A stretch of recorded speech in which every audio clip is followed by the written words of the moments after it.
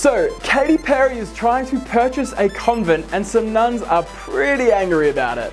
My name is Xavier Brinkman and you're watching In the Loop.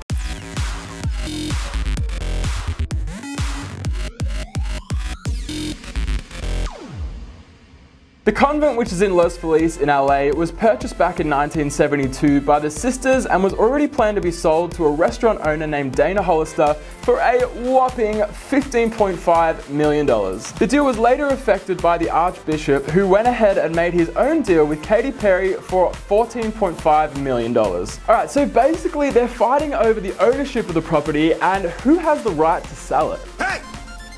You see this woman's a nun? Dana Hollister, who was already living at the convent, had to move because the Archdiocese believes that Katy Perry is the owner of the property since three of the sisters who had the rights to the property had signed an agreement with Archbishop Jose Gomez. So a nun named Sister Rita did a little bit of her own research and specifically calls out Katy Perry for her performance at the Grammys for Dark Horse.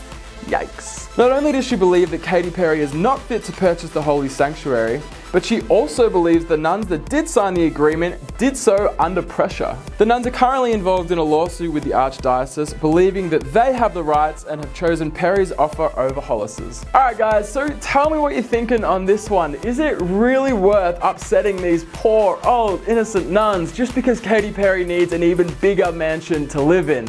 Put your thoughts in the comment section below. I will respond, I promise. My name is Xavier Brinkman. You're watching In the Loop. Peace.